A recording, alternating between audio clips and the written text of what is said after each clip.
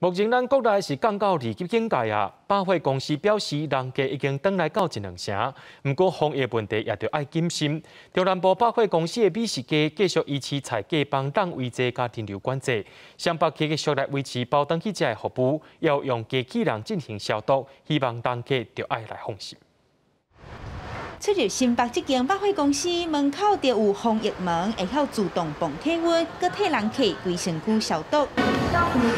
入来了后，搁有高水智慧型高科技的机器人，顶头喷甲离子水，空中杀菌，下底用紫外线消毒，等到人搁会闪开，二十四小时规动消毒，会觉得比较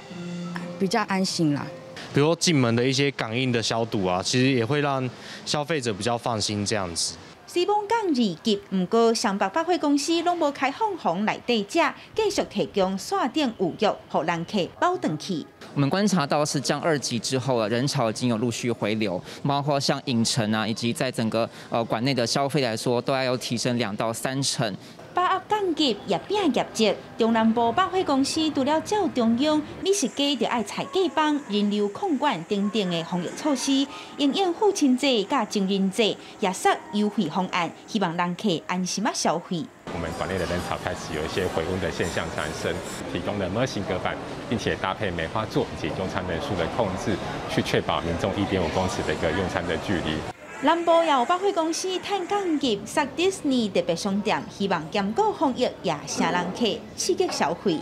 记者阿明金林学凯台北报道。